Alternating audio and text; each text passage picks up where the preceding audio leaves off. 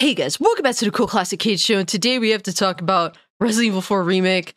Um, wasn't expecting to make a video like this, but unfortunately, these non-traversies just keep popping up with every. It seems like every major entertainment release at this point that has any form of criticism uh, thrown at it whatsoever. And Resident Evil 4 is the latest of this, but without further ado, let's just quickly jump into this whole situation here, guys. So, Push Square writes an article saying, Hateful comments prompt Resident Evil 4 remakes Ada Wong to nuke Instagram account. Man, how many of these have we seen over the course of a few years? And honestly, personally, I'm sick of them. I just think that they're a waste of time. Um, at the end of the day, it's their choice, and they probably did a good thing for themselves, in all honesty, as someone that engages in social media myself. But let us not uh, further ado.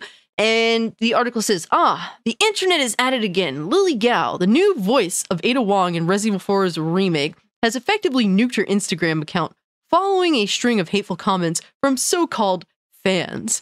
Gao, who has uh, who also starred in the Return to Raccoon City movie, ha- was recruited to replace Re- Resident Evil 4's Jolene Anderson, but not everyone has appreciated her performance in the game. Okay, so the thing about it is, so nobody likes the voice acting for Ada Wong in the game. That is the probably the biggest negative criticism I've seen across the internet, across many fans. If it be you've played the original and then you played the remake, those individuals seem to think that yeah, her, she's the weakest part of the game itself. And then there's people that have never played the original game and then played the remake who also say, yeah, she is the weakest part of this game.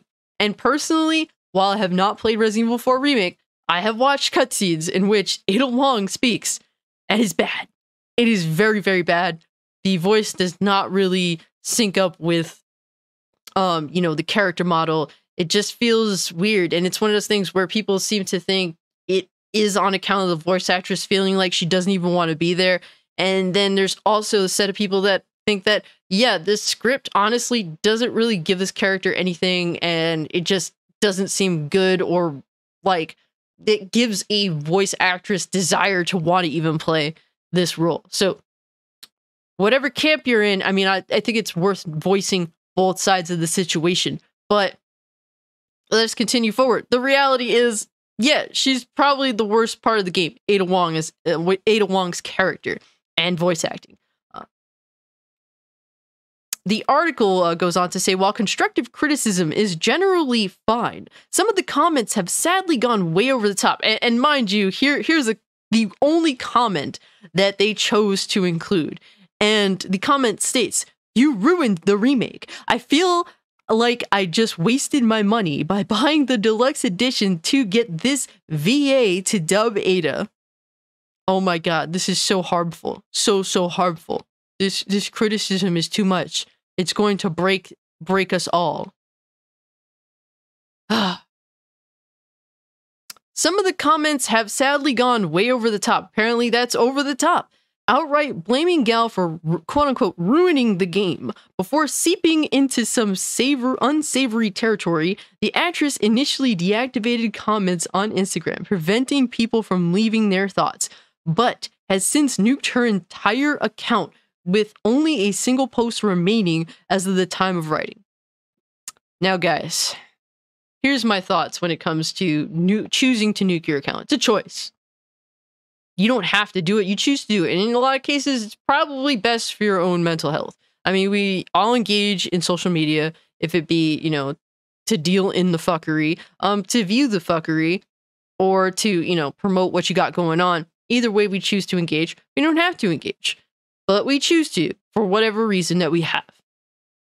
Now, when it comes to this situation, the biggest reason why I don't care is because the whole concept of I'll just nuke my account when I'm receiving criticism, every aspect of that just simply benefits the person that's being criticized. There is no negative aspect to, um, you know, to nuking your account when you're receiving criticism.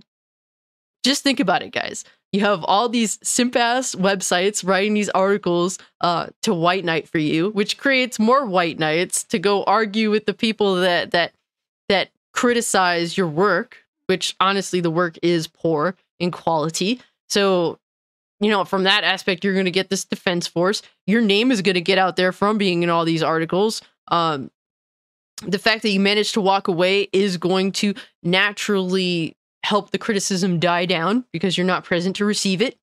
And also, while the white knights that are white knighting for you are going to go fight your battles for you, there's really no negative aspect to just saying, F it, I'm nuking my account. Everything benefits the person in criticism. So, I mean, it's a choice that really seems to be a chess move for a lot of people in entertainment. And I don't blame them for taking it. But don't pretend that that, you know, oh my god, she's such a victim, especially from receiving comments, the the, the, the one comment that we posted that's so lukewarm. oh my god, but let's finish the article.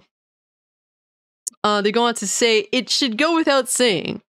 Whatever your thoughts on Ada Wong's new voice actress, which seems to be outright entirely just she's just not very good. It's just not good. Not good. Not good at all. One of the worst aspects of the game.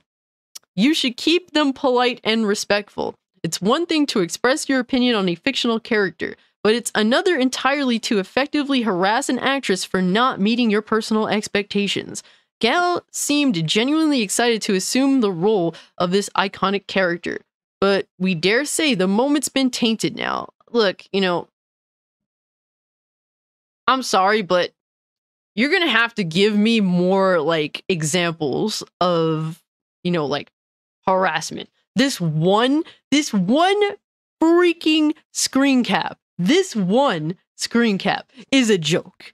Who's really gonna be like oh my god she was so harassed here guys. This is so bad. It's so terrible. Miss me with that shit guys. I just think it's so it, it's so overplayed this whole bitching and whining whenever uh, you know, someone in question, someone that's out put themselves out there gets criticism. If you put yourself out there, prepare to be criticized. Um, I put myself out there with YouTube. I get so much criticism.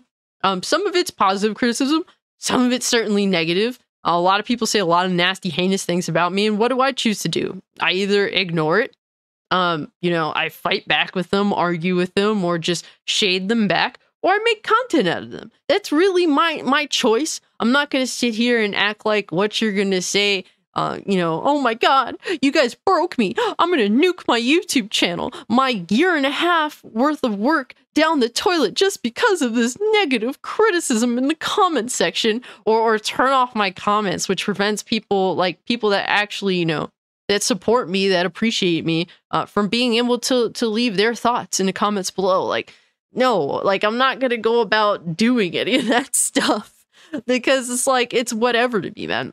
If you're gonna put yourself out there, prepare to receive criticism. It's going to happen. So, you know, if uh, Miss Gao chose to walk away, step away from social media because it was bothering her, hey, good on her. I think that that's a great thing because really, social media is trash. It's trash. We engage in it, you know if it be to promote ourselves or to to engage in in the fuckery or to witness the fuckery we choose to engage. It's not a requirement. Now in her line of work who knows if it's a requirement but i take it if she chose to nuke her entire instagram account i'm, I'm gonna guess that it's not really much of a requirement. But there's no negative aspect of her nuking her account. All of it benefits her. So i'm just tired of, of people going to bat for for people that are being criticized for putting themselves out there. It just comes with the territory. Stop trying to to make uh, to make things easier for everyone. Prepare everyone for a rough life. That way they'll be able to to deal with all the blows that are going to come their way. There's no scenario in which you will receive like overwhelming praise or everything's going to go perfectly. That's just not how life works. The sooner people come to reality and realize that, the sooner we can strengthen our society to not be little crybaby whiny bitches all the time. But yeah, guys, that's my general thoughts on this situation. Look, no hate to Miss Gao. I just think that uh, she missed the mark with Ada Wong. That's really what it boils down to. And, you know, I think that Push Square should do some better due diligence and post multiple examples instead of one really basic bitch comment that really isn't even terrible in the grand scheme of things. It wasn't like uh, they called Miss Gao anything disrespectful. They just said, yeah, you're the worst part of the game. So much so that I feel like I wasted my money on it. I mean, it comes with it just is what it is. It comes with the territory. Guys, let me know what you think about this article in the comment section down below. If you can, like the video, share the video, subscribe to the channel, follow me over on Twitch, Twitter, or Kick if you would like to continue the conversation. Become a channel member if you'd like to be a part of my growing Discord community. And guys, uh, you know, with that being said, I'm out. Peace.